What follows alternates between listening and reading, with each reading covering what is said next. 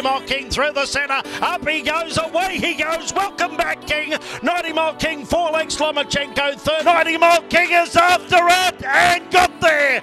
The King is back.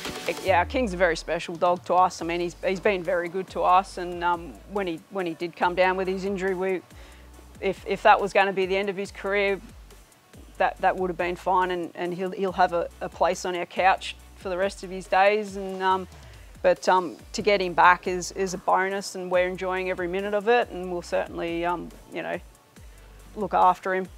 We sort of view it as a team operation here. I mean, Bianca spearheads, uh, spearheads the three of us up, her Uncle Graham and myself, and we like to uh, support her and uh, yeah, just work the dogs behind the scenes when we need to go trialing or we need to, uh, we need to empty dogs or run them up the, uh, run them up the straight here. Uh, yeah, that's, that's really what we're a part of, real team effort. His first start over, he won the Carnival Chase um, over the 600 and we basically stepped him up to the 700 metres at Albion. He had his first start um, over the 700 and uh, unfortunately, you know, in the run he just didn't look like he was running himself and, and after the, the run on the way home actually we got him out of the car and um, noticed that his Achilles had um, blown up a bit. Oh, it's not, not really common. Um, it's a, reasonably bad injury. Um, they really, um, depending on the grade of the um, tear in the Achilles, um, they usually don't come back, or if they do come back, they don't come back um, to what they were.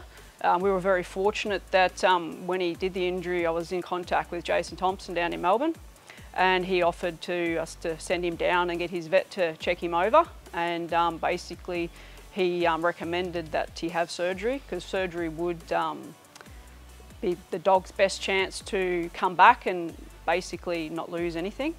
And so yeah, Jason and the Thompson family were kind enough to keep him and got the operation done for us and he was down there for about six weeks until he was ready to fly back and um, yeah, the vet's prognosis was um, very positive. He thought that the dog um, would come back and wouldn't lose anything. Um, so yeah, we're very grateful to the Thompson family because um, yeah, we would never have um, King back racing, especially as good as he is. In the back of our minds, because of the severity of the injury, um, we were very um, optimistic um, when we first started um, trialling him again. Um, his first ever hand slip, we gave him up Capalaba. He basically, he slipped very quick. So we knew at that point, we, were, we, were, confident that he would, he would come back. as to if he would lose anything, the, you know, when he started going around the bends again, that would have been more of an indication. Um, but um, yeah, as soon as he as soon as he had his first slip around the bend, um, he, he trialled faster than he basically has before he um, before he did the injury. So that was um, yeah a bit of a surprise.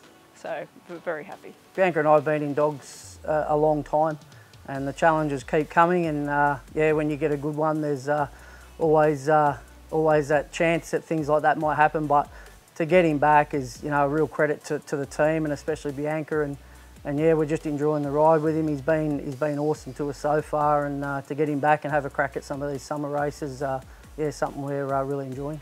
Um, just enormous. He just never, he, he never knows how to, uh, to give up. It was uh, pretty much his trait from when he was a puppy. He stood out from uh, day one and, and to have someone like him and to be able to guide him through his career, it's been pretty special. There's so much to look forward to in the TAB Golden Greys this summer.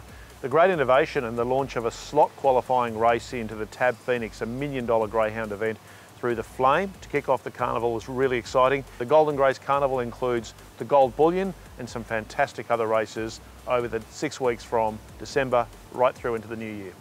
Oh, absolutely. I mean, it's a it's a really good initiative. Um, you know, the, the lure of you know 750,000, I think, is is is fantastic for, for greyhound racing, and also the concept. I mean, it's totally different than what we're all sort of used to, and um, you know, for Racing Queensland to buy a slot and to give us a chance to compete in it, you know, is fantastic.